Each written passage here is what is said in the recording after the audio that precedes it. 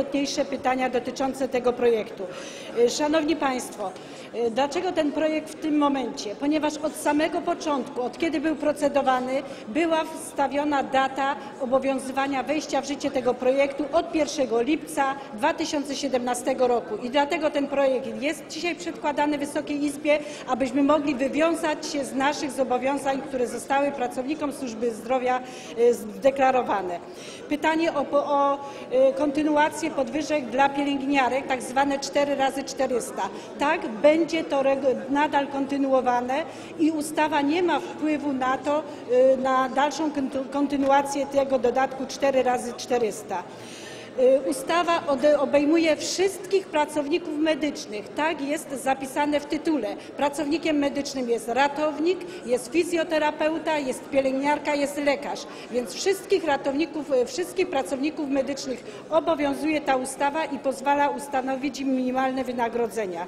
Jeżeli chodzi o koszty pokrycia, szanowni państwo, artykuł 6 mówi wyraźnie, jakie są koszty budżetowe i są zaznaczone wyraźnie kwoty, które w poszczególnych latach będą y, przeznaczane na sfinansowanie podwyżki z budżetu.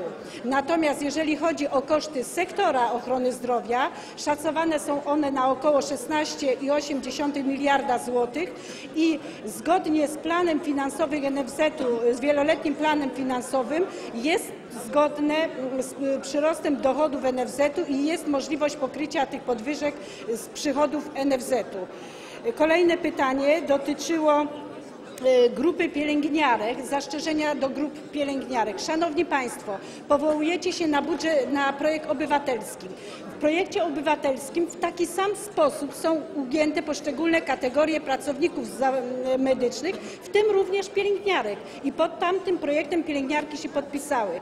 Więc w związku z powyższym y, uważamy, że jest to, y, odpowiada to y, oczekiwaniom społecznym. I na koniec chciałabym tylko poka- pokazać kwoty, jakie otrzymają pracownicy ochrony zdrowia po wdrożeniu w życie tej regulacji. I szanowni Państwo, to co Państwo mówicie, że to są minimalne wynagrodzenia, żenujące nisko, w wyniku których pracownicy będą wyjeżdżać za granicę, to ja podam przykłady. Być może dla Państwa to są y, żenująco niskie wynagrodzenia, ale na przykład w grupie zawodowej lekarzy wzrost wynagrodzenia zasadniczego za 4 lata nastąpi, będzie miał wartość, o, o, nastąpi wzrost wynagrodzenia o kwotę na przykład 1855 zł do uposażenia zasadniczego.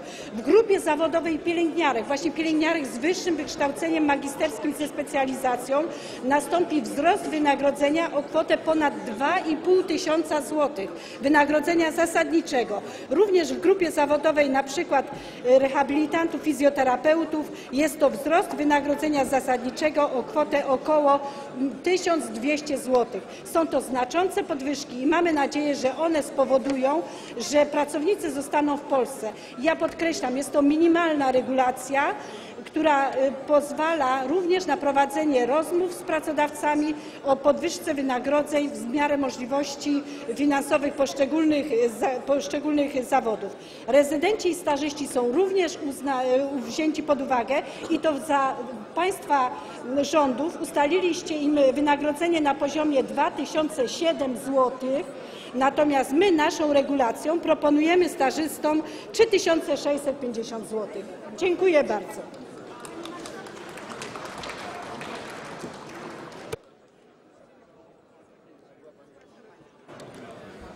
Pani poseł e, Elżbieta Radziszewska w trybie